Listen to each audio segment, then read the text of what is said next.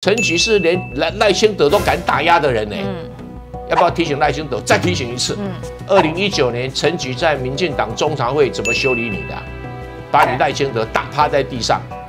伟大的劳动部长，那个人叫许明春，花劳工的钱来帮自己办演唱会，唱三十五分钟的的歌曲，然后来取悦陈菊，是吧？这个选对选高雄市长有帮助，是不是？我是觉得这些民进党人啊，吃铜吃铁哦，实在已经到了极尽无耻的地步啊。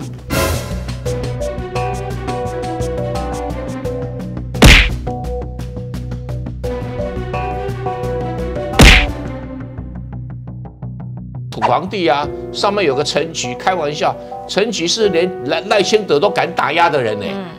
要不要提醒赖清德再提醒一次？嗯，二零一九年陈菊在民进党中常会怎么修理你的？要求改变这个初选规定，要求改变初选日期，硬要扶蔡英文上位，把你赖清德打趴在地上。那你赖清德现在敢不敢对陈菊报仇啊？你也不敢，你也你也没那个胆。那现在陈局底下人出事了，你要不要顺便清算一下？而而且更荒唐的是，这个新爆料的原来蔡孟良也是这么货色啊！是所谓不具名立委爆料，应该是民进党的，怎么不敢讲呢？民进党的立委在干什么？所以就不具名。对啊，你 怎么？你怕什么？怕陈局派系怕成这样子啊？啊？这个这个是什么什么玩意儿的立委？干到立委还怕东怕西？你在干什么立委啊？哦。还有立委是不具名爆料的，啊嗯，你听过没有？立委都大大方方，我讲谁就讲谁啊，哪哪什么不具名爆料的，又不是私人的事情，嗯，这是公家的事哎。然后更可笑的，他说许明春说林淑芬对他怎么样？嗯，坦白讲，民进党里面的立法委林淑芬真的是个不错的立法委员，嗯，不同党派哈立场不同，我觉得他过去的服务，过去在立法院的表现可圈可点。他今天爆料一件事情，我上去看了，我傻眼了。这个许明春啊，伟大的劳动部长，为了庆祝什么性平等工作法通过二十周年，就花了就业安定基金的钱，办了一场所谓的音乐会来纪念。嗯，底下坐着陈菊，然后台上呢，刚开始在演奏，没有什么人唱歌哦，最后压轴有一个人唱了三十五分钟，那个人叫许明春。嗯。哦，歌声还不难听啊，只是那个画面难看了一点。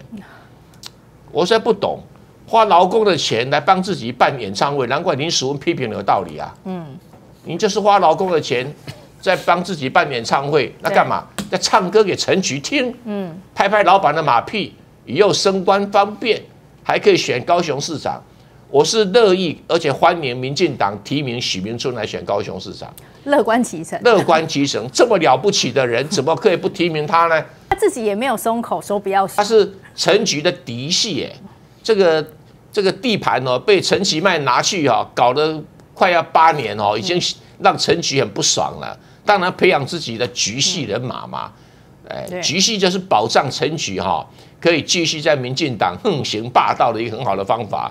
那当然有人会解释成这是一个党同伐异或者党派斗争，每个派系都来围攻陈局，其实不是嘛？陈局的人能看吗？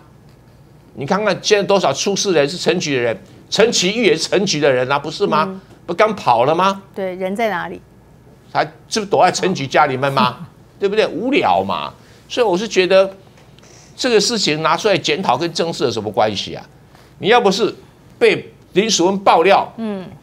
挪用就业安定基金，拿你自己的钱办，我们没话讲。是挪用就业安定基金来帮你个人办演唱会，唱三十五分钟的的歌曲，然后来取悦陈菊，让陈菊上台去好好赞美你，嗯，是吧？这个选对选高雄市长有帮助，是不是？我是觉得这些民进党人啊，吃铜吃铁哈，实在已经到了极尽无耻的地步啊。呃，许明生呢，在高雄市担任这个副市长的时候呢，我们就已经有耳闻说他是非常喜欢唱歌喝酒。那我们一直以为说那个是他等于是上班之余。他的空闲时间，他的应酬文化是如此，那所以大家不会特别的感觉到好像有什么不对的地方。可是这一次呢，被他们民进党自己爆料出来说，哇，原来许明春他敢用劳动部。这是国家的钱。这是人民的纳税钱，然后去办了，他变相的成了他的自己的个人的演唱会，难道可以用国家的钱满足自己的私欲吗？那这件事情，我觉得真的是让人觉得瞠目结舌。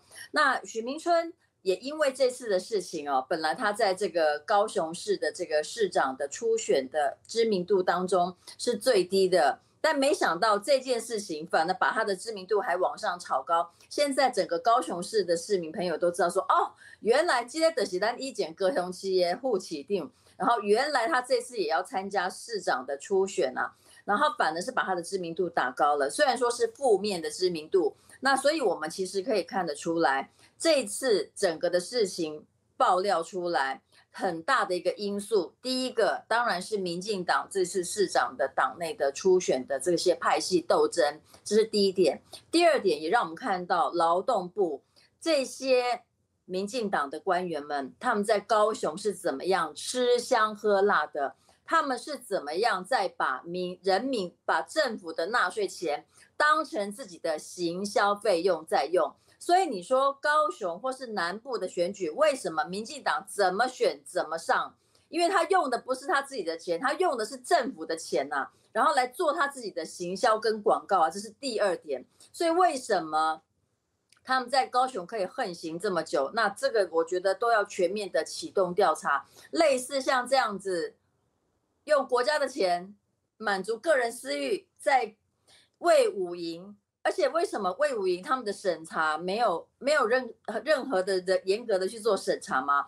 为什么可以在魏武营办这样子的一个变相演唱会的活动？那这不是一个那个官官相护，然后他们在用国家的钱，然后去帮那个许明春遂行他的自己的个人的私欲吗？那这个真的是非常的匪夷所思。他在别的县市他敢这样子办吗？哎，没有，他在高雄有人跟他可能可以配合，所以他用一个名目非常好像正当的方式，然后在高雄办的这样的一个演唱会。那所以我觉得这个真的是非常非常糟糕的一个事情。那也把这一层，呃，这个遮羞布把它掀开来以后，当许明春、当劳动部他们用了一个非常正当合理，好像说要为劳工的权益。所以我们举办了一个非常有意义的活动，但你把这块布掀开来看啊，没有臭不可闻呐。原来呢，只是满足个人的私欲而已。但是我要讲这件事情，对于我们的公务人员的文化，劳动部里面的同仁也好，或是各个公务体系的公务基层公务人员也好，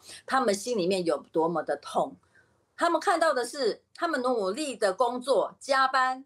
他们得不到任何的升迁，而这些人他们只需要拍马屁就可以步步高升，这是什么样的一个公务员文化？我觉得真的是无法想象。而且他还可以继续的在这个政坛上面还可以呼风唤雨，这样子难道民众不用站出来唾弃这样的行为吗？不用还给公务人员一个公道吗？所以高雄市大家就可以知道说，为什么伊拢讲好，伫民进党伊是高雄市。